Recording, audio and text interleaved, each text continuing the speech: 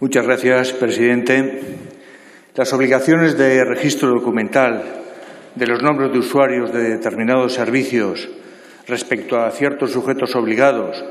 así como las obligaciones de su comunicación a las autoridades de seguridad pública, no es una cuestión o no resultan una cuestión ajena al ordenamiento jurídico vigente en el Estado.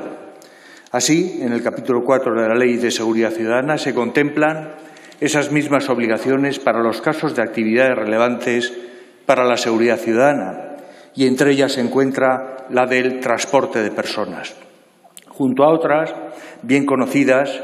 y ya también con anterioridad a la Ley de Seguridad Ciudadana, tales como, por citar algunas, el acceso comercial a los servicios telefónicos, el alquiler y desguace de vehículos, la cerrajería de seguridad, la venta de armas, cartuchería y precursores de explosivos, compraventa de objetos y obras de arte y otras más que ahora no citaré y que remito a la lectura del artículo 25.1 de la Ley de Seguridad Ciudadana y a otra legislación como la que establece determinadas obligaciones y limitaciones a los propietarios de embarcaciones de alta velocidad y aeronaves ligeras. Y es en este grupo normativo, cuyo objeto último es la protección de la vida y la seguridad de los ciudadanos, donde se inserta precisamente el proyecto de ley orgánica que transpone al ordenamiento jurídico del Estado la Directiva 2016-681, la directiva conocida PNR del registro de datos de los pasajeros,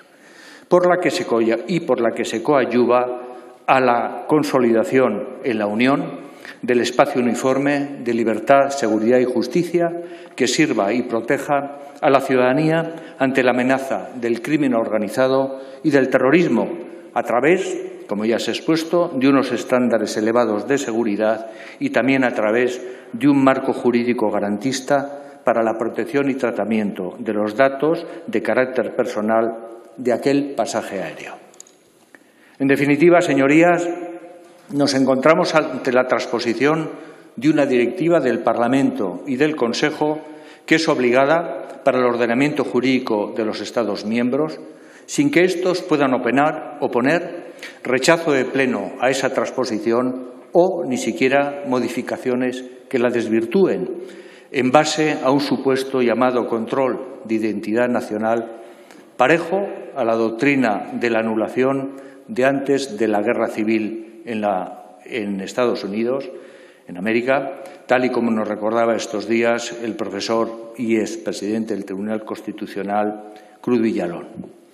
La puesta en cuestión del principio de la primacía del derecho de la Unión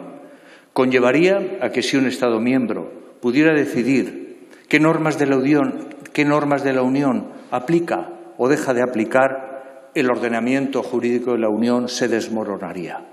Tal y como ha señalado el Tribunal de Justicia de la Unión, con ocasión de la reciente sentencia del Tribunal Constitucional Federal Alemán, Tribunal del Karlsruhe, que ponía en cuestión la primacía del derecho de la Unión y de su máximo intérprete, decía el Tribunal de Justicia de la Unión, la supremacía del derecho de la Unión es la única forma de garantizar la igualdad de los Estados dentro de la Unión,